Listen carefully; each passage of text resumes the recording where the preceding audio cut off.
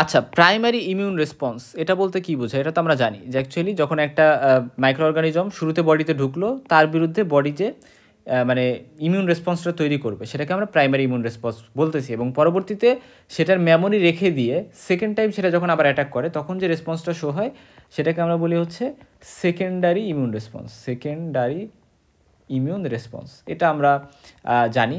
তো এইগুলো নিয়ে আমরা আলোচনা করব যে primary immune response secondary immune response এগুলোর মধ্যে ডিফারেন্স কী?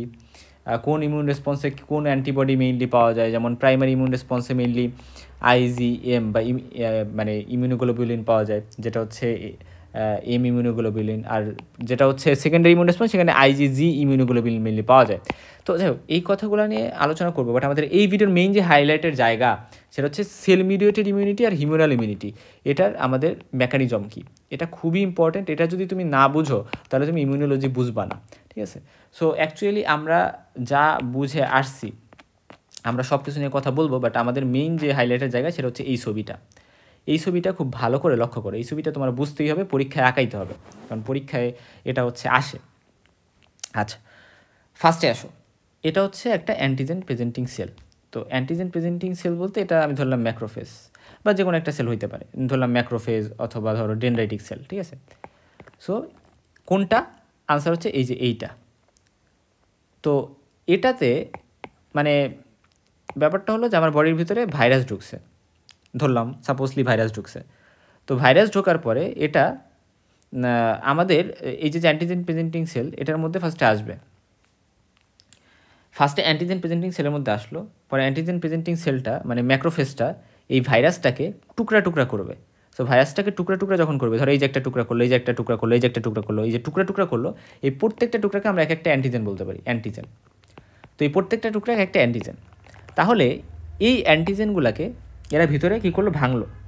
এবং মনে রাখবা যে অ্যাকচুয়ালি এই যে যে ইমিউনোজেন বা অ্যান্টিজেন এটা একটা প্রোটিন প্রোটিন ঠিক আছে? এই ভাইরাসটা ভাইরাসটা ভেঙে আমি ছোটো ছোটো পেপটাইড বানাইলাম ধরো ভাইরাসটা একটা প্রোটিন পলিপেপটাইড সেটাকে আমরা ছোটো ছোটো পেপটাইড বানাইলাম।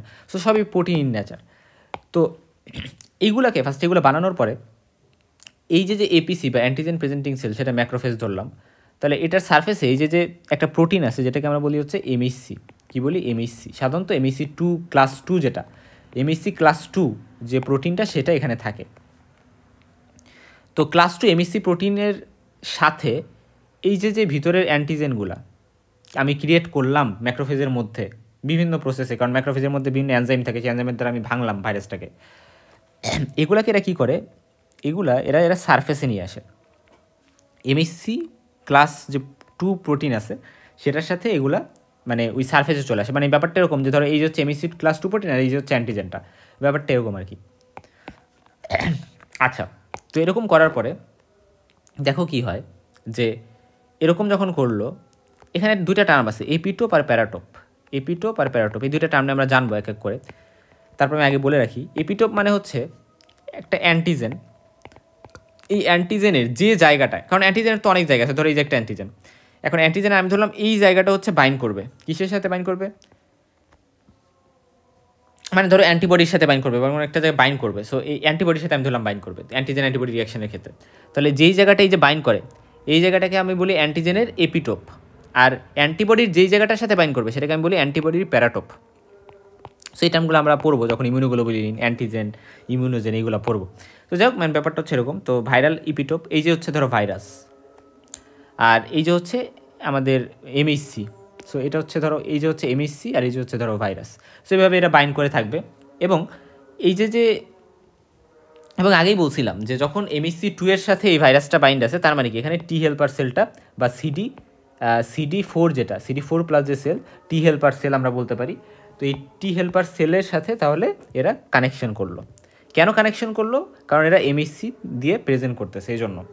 এবং কানেকশন করার পর, এখানে ইম্পর্ট্যান্ট একটা কথা আমি বলি, সেটা হচ্ছে যে দেখো, এখানে যেটার সাথে কানেকশন করল, এই রিসেপ্টরটার নাম হচ্ছে টিসিআর বা টি সেল রিসেপ্টর যেহেতু এটা একটা টি সেল টি সেলের রিসেপ্টরটার সাথে কিন্তু এরা বাইন করল, এই যে টি সেল রিসেপ্টর হ্যাঁ আচ্ছা তো এই যে টি সেল রিসেপ্টর এই টি সেল রিসেপ্টরটা সাথে বাইন করল, এবং আরেকটা ইম্পর্টেন্ট কথা, যে এখানে এই যে সিডি ফোর দেখছ না? সিডি ফোরও কিন্তু বিভিন্ন মানে মলিকুল থাকে, এবং সিডি ফোর আছে দেখেই তো আমরা এটাকে সিডি ফোর প্লাস বলতেছি রাইট এবং এই সিডি ফোরের সাথে মেনলি এই এমএসসি যেটা এমএসসিটা বাইন করে মেনলি সিডি ফোরের সাথে। সো ধরো এখানে এখানে সিডি ফোরও একটা আছে এলিমেন্ট এবং এখানে এমএসসিটা বাইন করতেছে।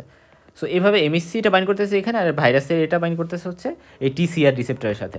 সো এরপরে যেটা হবে, যেটা হলে এরপরে আমাদের এই T helper cell T H যে সেলটা এটা হচ্ছে অ্যাক্টিভেশন হবে। তবে অ্যাক্টিভেশন কি এমনিতেই হবে? আনসার হচ্ছে না। এখানে বেশ কিছু কথা আছে, বেশ কিছু জিনিস মনে রাখবা। ফার্স্টে যখন এরা মিলিত হইল, মিলিত হওয়ার পরে এই যে যে আমাদের ম্যাক্রোফেস ম্যাক্রোফেসের কাজ শেষ হয়ে যায় না এরা ইন্টারলিউকিন ওয়ান সিক্রিট করে ইন্টারলিউকিন ওয়ান তো এই ইন্টারলিউকিন ওয়ান যে এরা সিক্রিট করল মনে রাখবা লিউকোসাইট মানে তো এটাও একটা হোয়াইট ব্লাড সেল এটা একটা হোয়াইট ব্লাড সেল তো এগুলো তো লিউকোসাইট তো লিউকোসাইটদের মধ্যে কানেকশন বিল্ড আপ করে ইন্টারলিউকিন তো অ্যাকচুয়ালি এই জন্য এটার নাম ইন্টারলিউকিন তো এটা ইন্টারলিউকিন ওয়ান সিক্রিট করবে। এবং এই ইন্টারলিউকিন ওয়ানটা এটাকে কিন্তু ইম্প্যাক্ট করবে।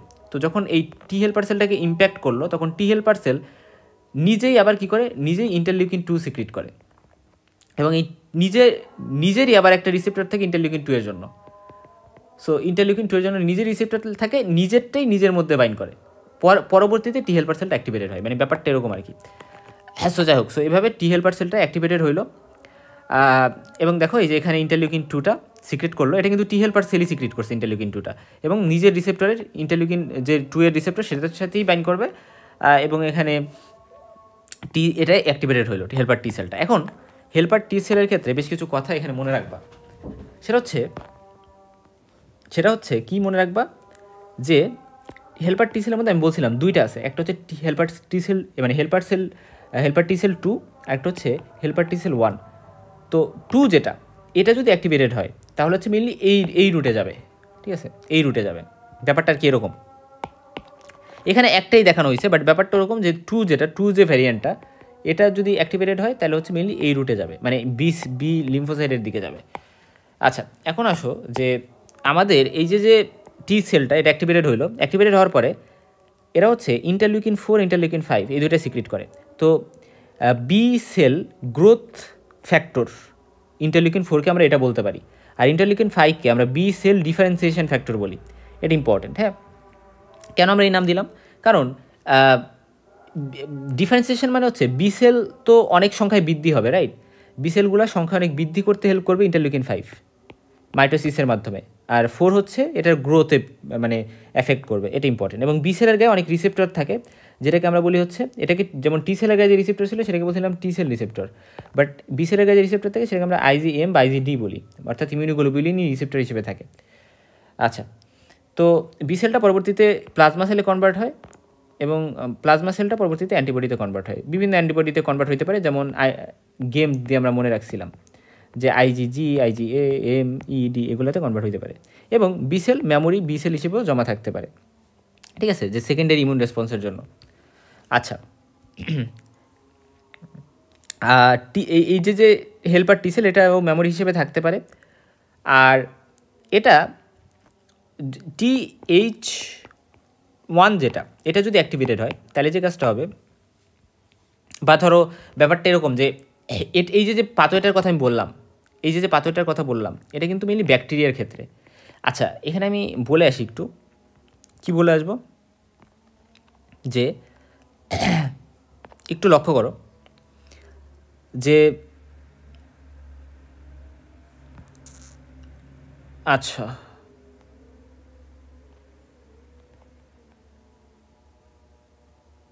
অ্যান্টিবডি মিডিয়েটেড যে ইমিউন রেসপন্স বা হিউমারাল ইমিউনিটি এটা হচ্ছে মানে যেটা বিসেল মিডিয়েটেড বা অ্যান্টিবডি মিডিয়েটেড বা যেটা আলটিমেটলি অ্যান্টিবডি তৈরি করবে সেটা কাদের কাদের ক্ষেত্রে?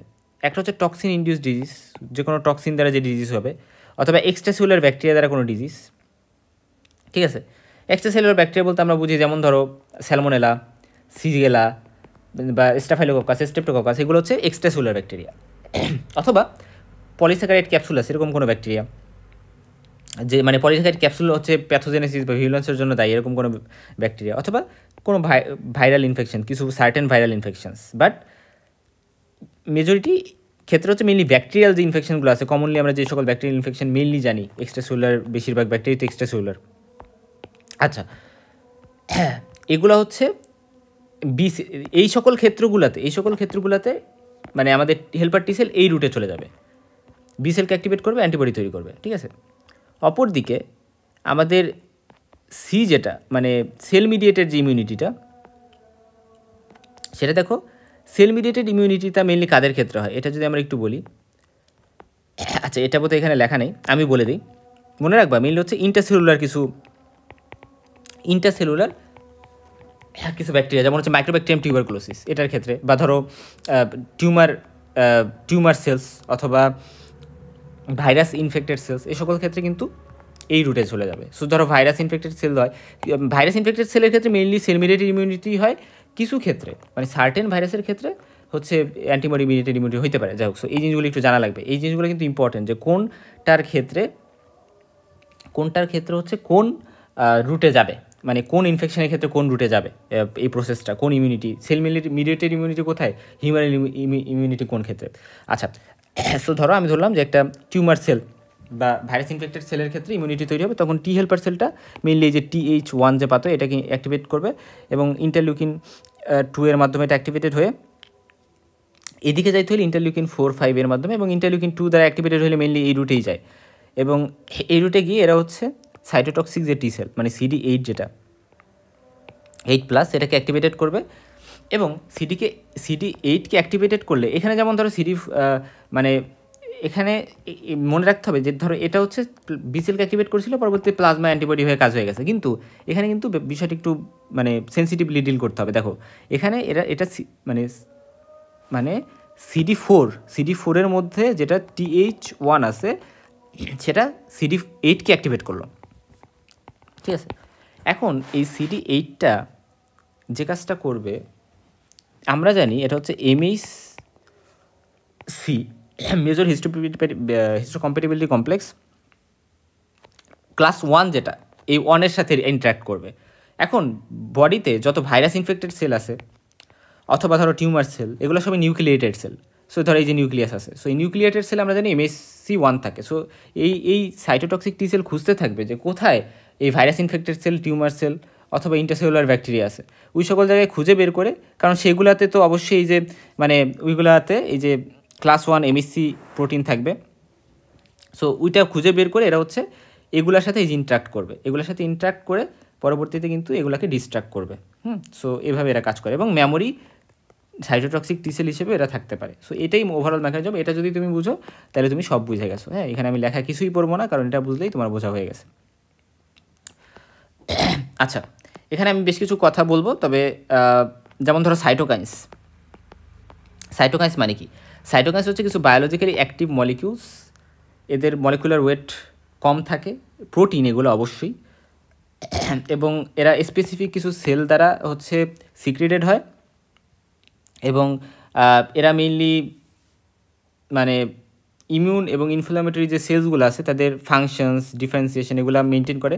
এর সাইটোকাইন্স বলতে মেইনলি আমরা ইন্টারলিউকিনসগুলোকে বুঝি, তবে তার আগে বলে নিই প্রপার্টিস যেটা হচ্ছে প্রোটিনস অর পলিপেপটাইডস এবং মলিকুলার ওয়েট ইউজুয়ালি কম ছয় হাজার থেকে ষাট হাজার ডাল্টনের মতো হয় এবং এরা ডিস্টিং ফর্ম হরমোনস এরা এক ধরনের হরমোনস টাইপের এবং এরা ইউজুয়ালি সেরামে প্রেজেন্ট থাকে না, কারণ এরা লোকালি অ্যাক্ট করে হ্যাঁ?